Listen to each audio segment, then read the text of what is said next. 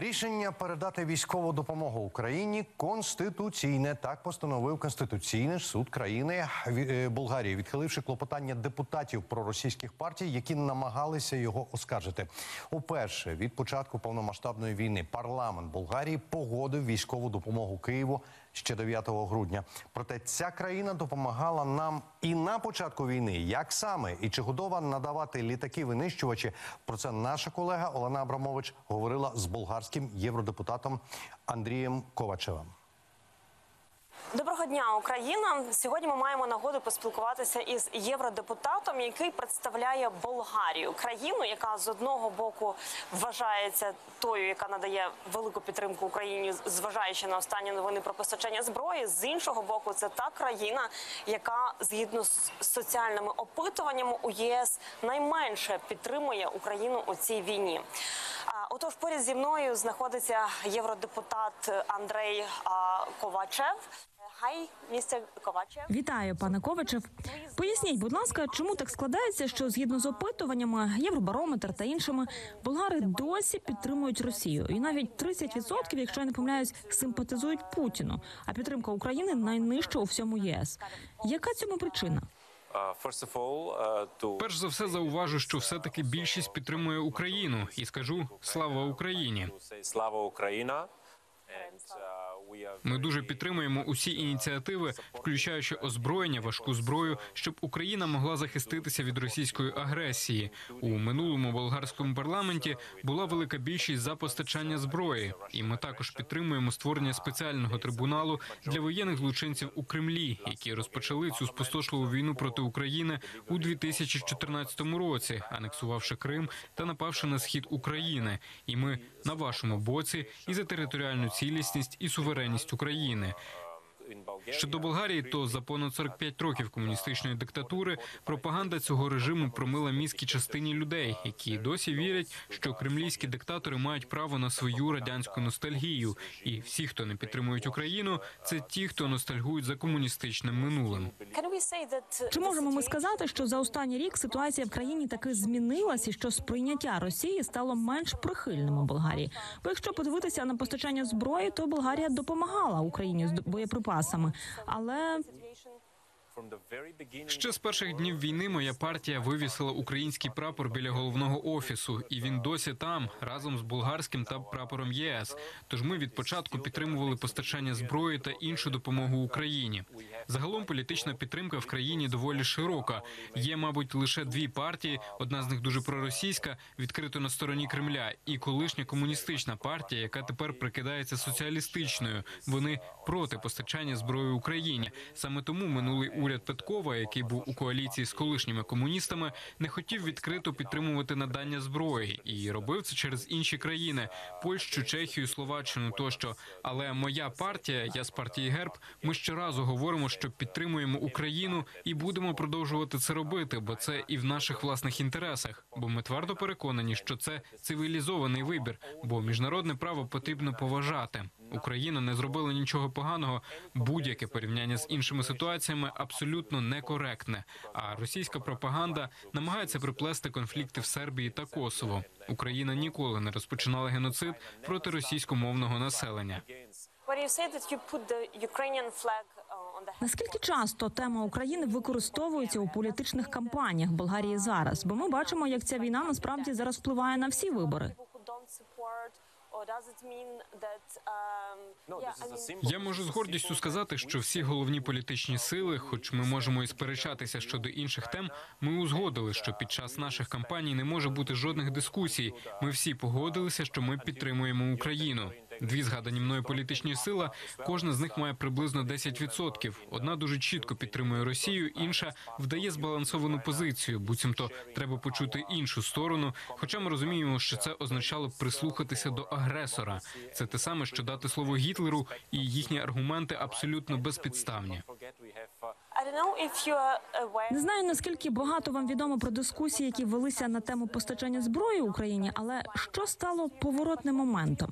Ми бачили різні інтерв'ю, в яких було згадано, що США та Британія закуповували багато боєприпасів у Болгарії, і надсилали їх через Польщу до України, і що це стало також підтримкою для економіки Болгарії. Чи став цей фактор вирішальним?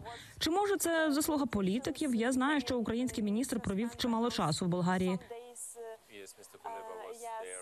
Так, пан Кулеба був кілька днів. Це була трохи болюча для нас ситуація, бо моя партія зробила запит, щоб він виступив у парламенті. Але партія колишнього прем'єра Петкова відмовила, і це великий сором, як на мене. І вони таємно ухвалили рішення, бо одна з партій, яка виходить до коаліції, погрожувала розвалом коаліції, якщо хоч якась зброя буде постачатися. І тепер, після стількох місяців, Петков заявив, що ми експортували боєприпаси і підтримували Україну, але таємно через інші країни. Моя партія тричі виносила на голосування резолюцію, що ми маємо відкрито постачати зброю. Чи змінило б це якось ситуацію? Після виборів на початку жовтня у нас були вибори. Цієї коаліції вже не було. Був технічний уряд, і понад дві третіх болгарського парламенту проголосували за постачання зброї. Тож зміна влади зробила це можливим правильно, але у чому принципова різниця? Якби це робилось прямо, це було б швидше чи може дешевше? Що саме ми втратили? Звісно, дешевше, бо це було б без посередників. Але це питання також стосується гідності. Ми маємо підтримувати Україну відкрито, а не заявляти, ми не постачаємо зброю, але таємно її постачати через інші країни з використанням посередників, які так само це роблять не задарма. Хоча у мене і немає доказів, скільки це коштувало і хто посередники, але для мене значно цивілізованіше, опираючись на нашу європейську солідарність, було б робити це як багато інших країн з самого початку, підтримуючи Україну. Ще одна важлива тема для України членство в Євросоюзі. Зараз також звучать побоювання, що позиція Болгарії щодо інших країн, які були в процесі переговорів, наприклад, Західні Балкани, іноді зводилось до висування певних додаткових умов, що сповільнювало процес. Чи можлива схожа ситуація у випадку з Україною? Чи є у Болгарії якісь вимоги щодо меншин, і чи передбачаєте ви загалом якісь перепони? Перш за все, ці ситуації не можна порівнювати. По-друге, найбільша геополітична ціль Болгарії інтегрувати в ЄС всі західнобалканські країни. Наше перше президентство в Раді ЄС було присвячено євроінтеграції західних Балкан. Ми хочемо також просувати це питання для України та Молдови. У нас були питання щодо захисту прав людини в Македонії. Це правда, але їх джерело те ж саме: вплив колишньої комуністичної мережі кагебістів там. Вони були дуже антиболгарські, і ми хотіли захистити тих, хто за самовизначенням є болгарами. І в нас точно немає такої проблеми в Україні. У нас був хороший досвід співпраці з двома міністрами освіти щодо шкільної освітньої програми і вивчення болгарської мови.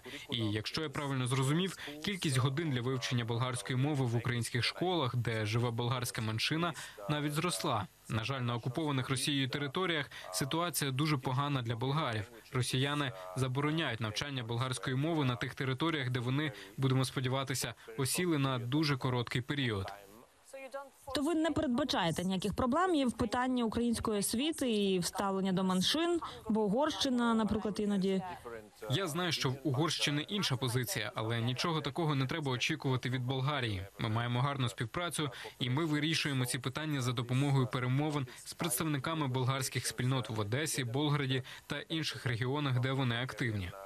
Повернусь до питання військової допомоги. Зараз триває дискусія щодо надання Україні літаків винищувачів.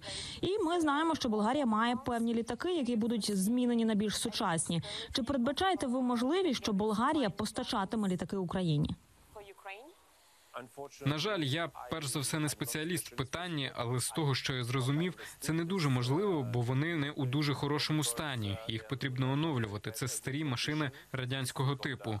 І я тут більш песимістичний щодо військової авіації, аніж щодо іншого військового обладнання. Саме через стан цих літаків? Так, скільки з них зможуть літати? Чи є для них запчастини? Через певну кількість годин польотів треба міняти двигуни, і це зараз проблема для Болгарії. І саме тому ми чекаємо на отримання F-16. The last. Останнє запитання щодо закінчення війни. Які очікування серед ваших колег? Ми всі читаємо аналітику, є дуже різні, скажімо так, прогнози. Боюся, росіяни готують наступ зараз, на початку весни. Саме тому постачання важкої зброї має бути швидким, як і тренування українських військових, як нею користуватися, щоб не лише зупинити Росію, а й витіснити її якомога далі до кордонів. І лише тоді з'явиться можливість для мирних угод. Але у будь-якому разі я не з тих людей, хто вважає, що перемовини потрібно розпочинати за будь-яких умов. Тут дуже чітко видно, хто агресор і хто жертва. І ми не можемо просити у жертви здатися, пожертвувати свободою, суверенітетом, територіальною цілісністю, маючи хибні очікування, що це принесе мир усьому світу. Ми всі пам'ятаємо, що сталося після Мюнхена, коли Захід пішов на поступки Гітлеру. Не можна давати жодної підстави таким людям святкувати перемогу руського міра, які вони намагаються насадити своєю пропагандою. Ця пропаганда дуже небезпечна, бо вони намагаються змінити світогляд людей не лише в Україні. Я говорю про захід, щоб ми не закінчили як корисні ідіоти на заході, про яких говорив Ленін. Я сподіваюся, зараз таких корисних ідіотів, якими можуть маніпулювати російські шпигуни, зустрінеш не так часто в євроінституціях і в столицях демократичного світу. Дуже дякую за вашу позицію і вашу підтримку Україні. Слава Україна! Героям слава.